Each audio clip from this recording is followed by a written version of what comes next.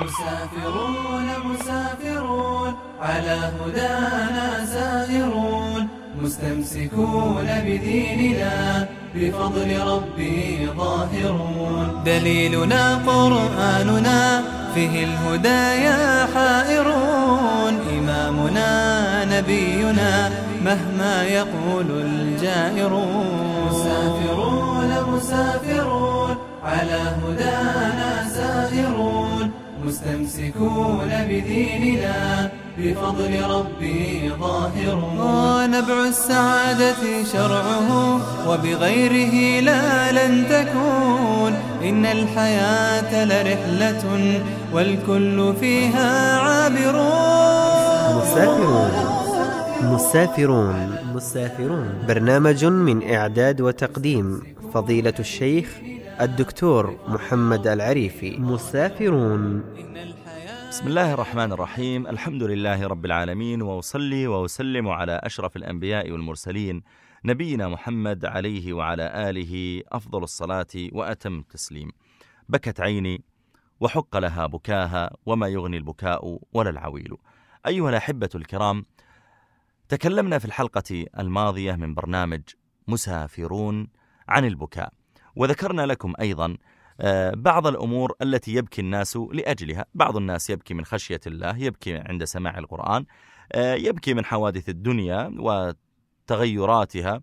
يبكي لمرض يبكي لمصيبة وبعض الناس يبكي إذا انهزم آه، فريقه الذي يشجعه يبكي إذا مات البطل الذي آه، يحبه آه، يبكي على مطرب يبكي على ممثل يعني غنى له أغنية حزينة فبكى. ينبغي أن ننتبه إلى أن البكاء الذي يؤجر عليه المرء شيء وقد يعاقب أحيانا على شيء من البكاء الذي قد يعني يبكي عليه المرء.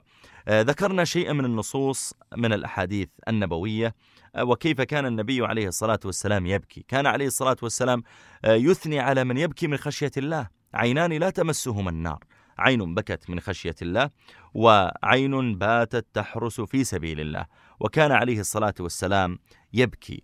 قرأ عليه عبد الله بن مسعود شيئا من سورة النساء فبكى عليه الصلاة والسلام. آه، لما آه، مات ابنه إبراهيم بين يديه عليه الصلاة والسلام وهو الصبي يجود بنفسه وهو عليه الصلاة والسلام يبكي. ولما قال له عبد الرحمن بن عوف يا رسول الله تبكي وأنت رسول الله. قال يا, يا عبد الرحمن إنها رحمة إنها رحمة إنها يعني أنا أغلب على هذا رحمة في قلبي هذا ولدي يموت بين يدي.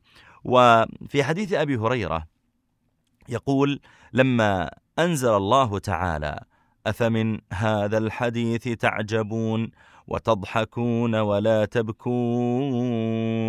قال بكى أصحاب الصفة وهم مجموعة من الصحابة الفقراء من المقيمين في مسجد رسول الله صلى الله عليه وسلم. قال بكى أصحاب الصفة حتى جرت دموعهم على خدودهم. قال فلما سمع رسول الله صلى الله عليه وسلم بكاءهم بكى معهم. قال فبكينا ببكائه. قال فقال النبي صلى الله عليه وسلم لا يلج النار من بكى من خشية الله ولا يدخل الجنة مصر على معصية. ثم قال عليه الصلاة والسلام قال بعد ذلك تكملة الحديث مثنيا عليه الصلاة والسلام على رحمة ربه ومغفرته والحديث عند البيهقي وغيره. من حديث هاني مولى عثمان قال كان عثمان إذا وقف على قبر يبكي حتى يبل لحيته فقيل له عجبا تذكر الجنة والنار ولا تبكي وتبكي من هذا؟ قال نعم. إن رسول الله صلى الله عليه وسلم قال إن القبر أول منزل من منازل الآخرة فإن نجا منه أحد فما بعده أيسر منه وإن لم ينج منه فما بعده أشد منه. ثم قال عثمان وقد سمعت رسول الله صلى الله عليه وسلم يقول ما رأيت منظرا قط إلا والقبر أفظع منه. يعني إن, إن الذي يرى القبر ينبغي أن يرق قلبه لأنه يعني قد, قد ينزل إلى هذا القبر ثم لا يكون عنده عمل يبيض وجهه إذا لقي الله تعالى أو يفسح له في هذا القبر ويوسعه عليه. كذلك قال أبو بكر رضي الله تعالى عنه من استطاع منكم أن يبكي فليبكي ومن لم يستطع فليتباكى. يعني يحاول أن يخشع نفسه لأجل أن يبكي من خشية الله. قرأ ابن عمر رضي الله تعالى عنه قول الله سبحانه وتعالى ويل للمطففين الذين إذا اكتالوا على الناس يستوفون وإذا كالوهم أو وزنوهم يخسرون.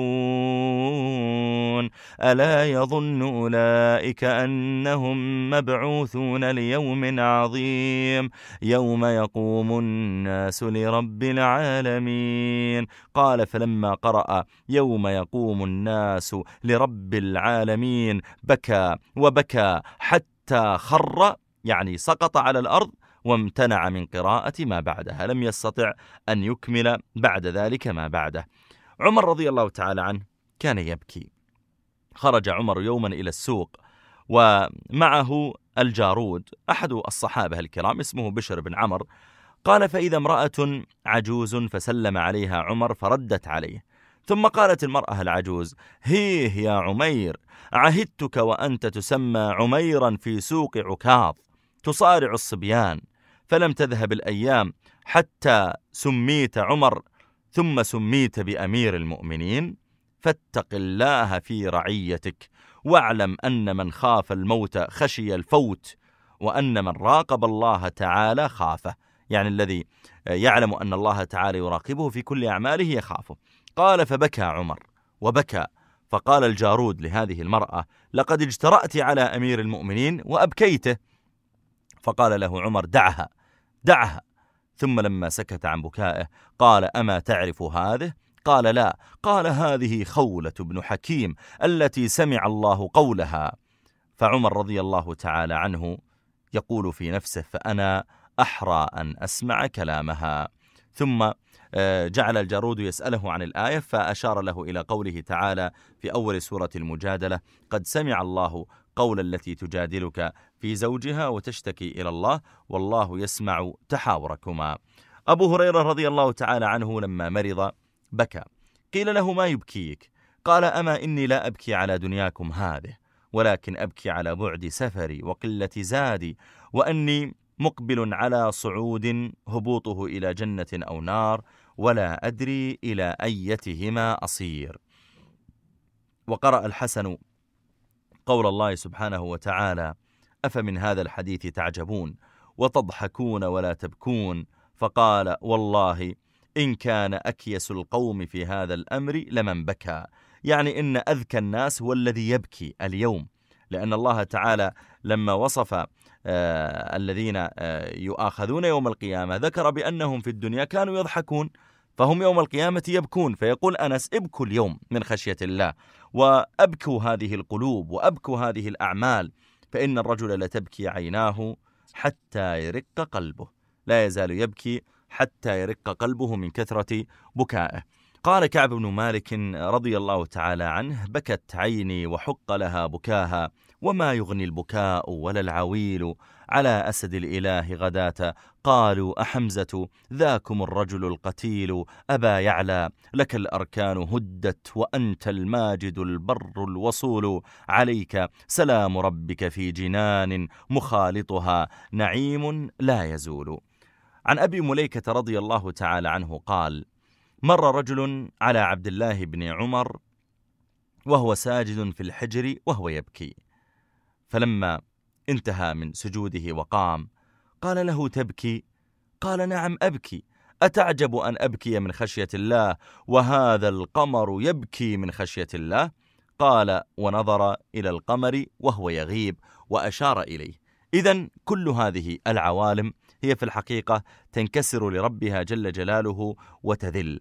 يقول مالك دخل عمر بن عبد العزيز على فاطمة امرأته فطرح عليها خلق ساج عليه يعني كان عليه يعني آه، رداء فطرحه عليها أعطاه إياها. ثم قال يا فاطمة لنحن ليالي دابق أنعم منا اليوم. يعني ليالي دابق لما كانوا في جهة دمشق لما كان هناك يقول كنا نتنعم فيها. والله قبل أن ألي الخلافة وأهتم بأمور المسلمين هذا الاهتمام فذكرها ما كانت نسيته من أيام عيشها. فضربت يده هي ضربت يده ضربة فيها عنف ونحت يده عنها كان قد وضع يده عليها. وقالت لعمري لأنت اليوم أقدر منك يومئذ. يعني تعني أنك كنت في تلك الأيام أميرا وأنت اليوم خليفة. أقدر منك في المال أقدر منك في الرجال في العتاد. فقام وهو يقول بصوت حزين يا فاطمة إني أخاف إن عصيت ربي عذاب يوم عظيم. فبكت فاطمة وقالت اللهم أعذه من النار. قال أبو سليمان عودوا أعينكم البكاء وعودوا قلوبكم التفكر. وقال عبد الله ابن الأعلى التميمي قال من أوتي من العلم ما لا يبكيه فهو علم والله لا ينفع. إذا كنت يا أخي تقرأ القرآن وتصلي وتدعو إلى غير ذلك من الأعمال ومع ذلك لا تبكي فاعلم بأنك في الحقيقة لم تستفد مما تفعل من هذه الأعمال. أعني لم تستفد في قلبك وإلا فالاستفادة في الأجر والثواب عند الله جل وعلا. البكاء أيها الإخوة الكرام والأخوات الفاضلات هو في الحقيقة دليل على خشية الله تعالى على مراقبته وأن الذي يبكي دليل أنه يخاف من رب العالمين. البكاء هو دليل أيضا على صلاح العبد واستقامته. الذي يبكي من خشية الله في صلاته يبكي في سجوده دليل أنه يحب ربه جل جلاله فعلا محبة حقيقية. من كان كثير البكاء أوصله بكاؤه بإذن الله إلى محبة الله تعالى وإلى رضوانه. البكاء هو في الحقيقة أيضا دليل على رقة القلب وعلى استجابته لأمر الله تعالى. البكاء هو سمة من صفات الصالحين الخاشعين. إذا كنت بكاء في الليل وبكاء في النهار خائفا من رب العالمين أبشر بالخير فإن الله تعالى رحيم بعباده. أسأل الله تعالى بمنه وكرمه أن يرق قلوبنا له جل جلاله وأن يرزقنا الخشوع له وحده سبحانه وتعالى. وإلى لقاء آخر إن شاء الله. والسلام عليكم ورحمة الله وبركاته. قدمنا لكم مسافرون. أعده وقدمه فضيلة الشيخ الدكتور محمد العريفي تنفيذ المهندس أيمن رزق إشراف الأستاذ عبد الإله الإبراهيم. حياة لرحلة والكل فيها عابرون فاحجز مكانك يا أخي.